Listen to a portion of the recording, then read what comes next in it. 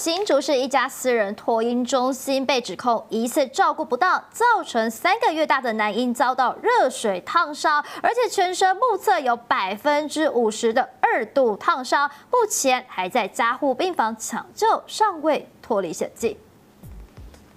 网友在脸书社团爆料公社发文，可以看到男婴身上有大面积的烧烫伤，几乎体无完肤。根据托婴中心表示，是托育人员。泡奶的时候不慎打翻热水，导致男婴被烧烫伤，而家长想要调阅监视器，没想到托婴中心却说监视器故障，家属目前已经报警提告，而社会局也已经介入调查。根据了解，这家托婴中心在 Google 评论有四星等级，结果发生如此疏失。对此，新竹市府表示，社会局已经介入调查，并要求托婴中心说明及调阅相关监视器画面，厘清现场。如果托育人员确实有疏忽，将依违反儿少权法八十三条，处新台币三万至六十万元的罚款，并命其限见其改善。而情节严重，将勒令停业，并公布机构名称及负责人姓名。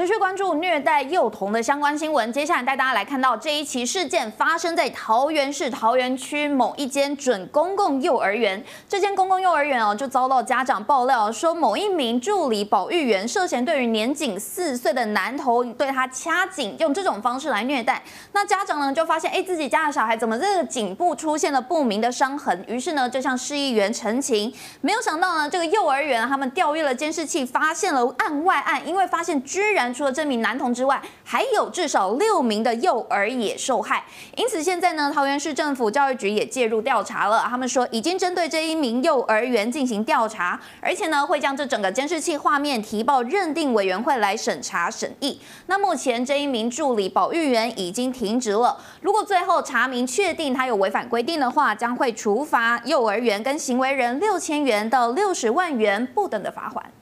桃园某准公共幼儿园日前有家长爆料，某助理保育员涉嫌虐待年仅四岁的男童。家长发现幼童的颈部有不明的伤痕，向市议员黄崇惠陈情，揭发该幼儿园保育员对幼童不当凌虐。幼儿园调阅监视器画面，结果又发现案外案，还有至少六名幼儿也受害。桃园市政府教育局十九日指出，已针对该幼儿园进行调查，并将监视画面提报认定委员会调查审议。该助理保育员目前已停职，如查明有违反规定，将罚幼儿园与行为人六千元至六十万元不等罚还。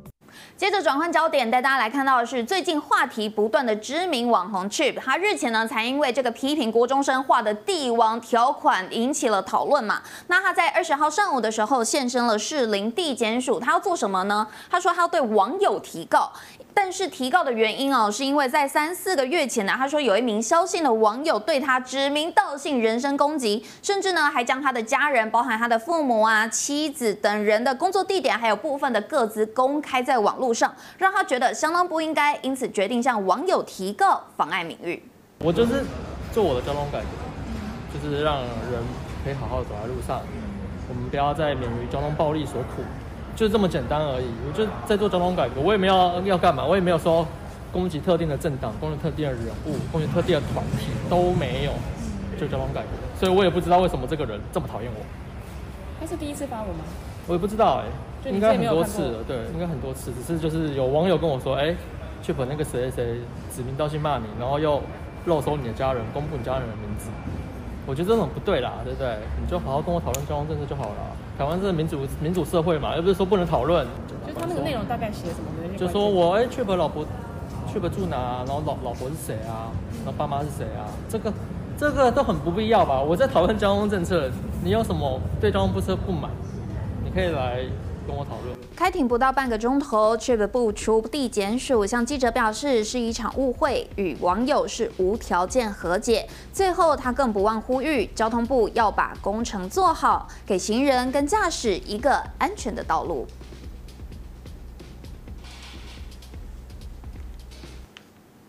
人大牙周一佩在六月的时候指控十一年前曾遭黑人性骚扰，而事后被黑人夫妇提起妨碍名誉的诉讼。而北检经传唤五名证人到案后，在十九号给予不起诉的处分。而作为证人的贝彤彤事后也在 IG Take 大牙的品牌道贺说，值得开花庆祝。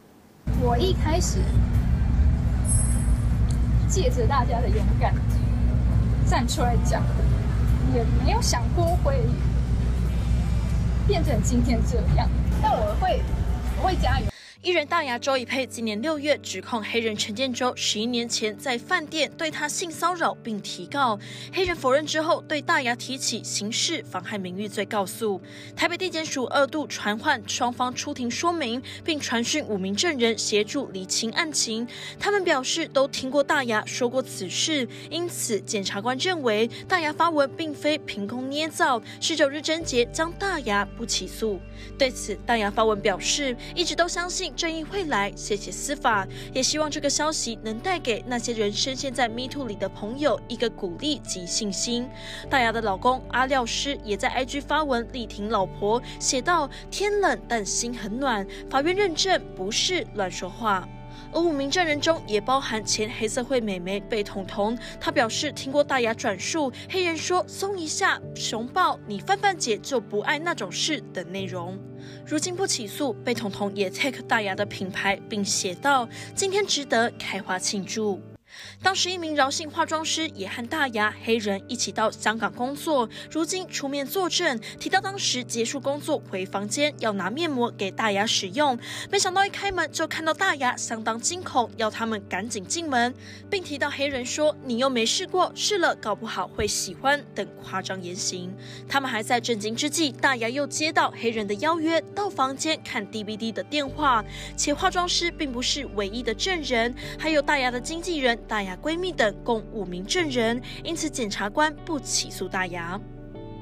台北地检署在昨天是侦结将大牙不起诉，而至于黑人的前经纪人，在当时他也有出庭作证力挺大牙。他指出黑人会提告是因为他的国王个性，更心疼大牙决定提告前下了很大的决心，是因为想要原谅自己当年的懦弱。黑人前经纪人是大牙的现任经纪人，这一次风波他也出庭作证，透露从二零一七年跟大牙合作开始，某一次节目需要和同场的男艺人有亲密互动，但是大牙百般拒绝，追问之下才得知大牙曾经被黑人性骚扰的往事。经纪人表示，这次黑人提告的举动就符合他不容诋毁的国王个性，直言对黑人告大牙的举动感到不舒服，因为大牙没有假造 Po 文所描述的情节。对于不起诉的结果，大牙在昨天发文回应说，一直都相信正义会来，谢谢司法，我依旧相信做对的事情不需要犹豫，也希望这个消息能带给那些仍然深陷在 Me Too 里的朋友们一个鼓励和信心。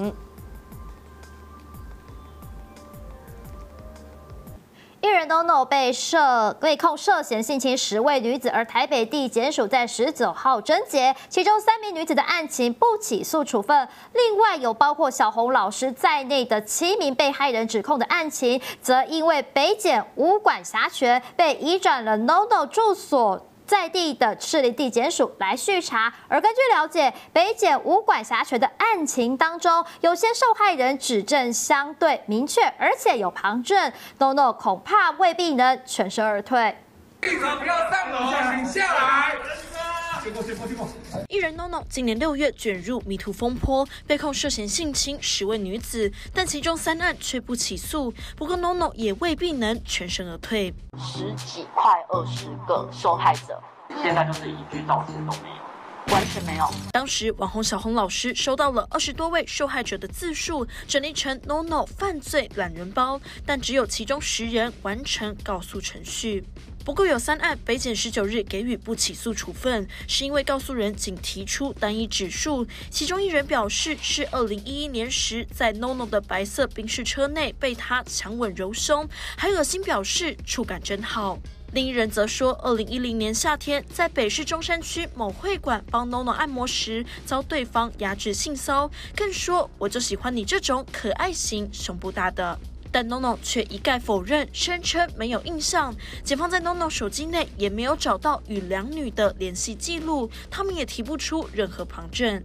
第三案则是一名芳疗师，称二零一一年至二零一三年时帮 NONO 做油压按摩时，被他印上得逞。当时女方哀求：“你不要这样，我很害怕。”没想到 NONO 却回他：“我比你更害怕。”下体更因此撕裂伤。不过，检方传讯受害人雇主等人对 NONO 到店的日期及次数都都不拢，受害人也提不出其他证据，因此这三案不起诉。另外七案则移转到 NONO 住家辖区的士林地检署继续侦办。不过，NONO 未必能全身而退，因为这七件中多位受害人的指证相当具体且有旁证，像小红老师就有明确叙述，因此 NONO 之后可能还得再跑一次侦查流程，包含出庭应讯，详细侦查结果则有待事检继续调查厘清。对于其中三案不起诉，小红老师昨天就表示，他一起床看到新闻的时候也是震惊了好久，但他还是说自己会持续的奋战到底，绝对不会退缩。他还说，目前陆续收到的受害人数，截至目前为止，正好跟注音符号一样多。虽然案件还在持续侦查当中，但是对于判决结果，小红老师仍然感到吃惊。他表示，目前还没有收到台北地检署正式的书面通知以及不起诉处分书，等收到之后会与律师研议后续，不排除再议的可能。这场战真的不容易，我们一定会坚持下去，奋战到底。而虽然结果不尽理想，但小红老师说他对司法有信心，尤其看到这些受害女子的经历，让他无法容忍，相信检察官会还给大家一个公道。小红老师更提到，你们只看到十位女孩透过司法来发声，但很多人只是不愿意再把伤痛一遍一遍的拨开，有的人光是回溯过程就会崩溃大哭，所以选择在后面声援。每个女孩都是将自己隐藏在内心深处多年的痛，趁这个机会为自己勇敢一次。